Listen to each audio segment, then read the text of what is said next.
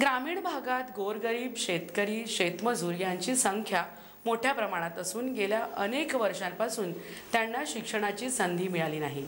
जेव्हा ग्रामीण भागातील विद्यार्थी शिक्षण घ्यायला लागले अशा वेळी कमी पटसंख्या असलेल्या शाळा राज्य सरकारने बंद करण्याचा निर्णय घेतल्यामुळे ग्रामीण भागातील विद्यार्थी वंचित राहतील.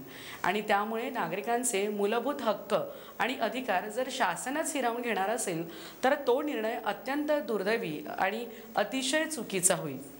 आणि म्हणून वीसपेक्षा कमी पटसंख्या असलेल्या शाळा बंद करण्याचा निर्णय त्वरित मागे घ्यावा अशी मागणी राष्ट्रवादी काँग्रेस पार्टी ओबीसी सेलचे जिल्हा अध्यक्ष डी के आरीकर यांनी मुख्यमंत्री एकनाथ शिंदे यांना जिल्हाधिकाऱ्यांमार्फत दिलेल्या निवेदनातून केल्या आहे.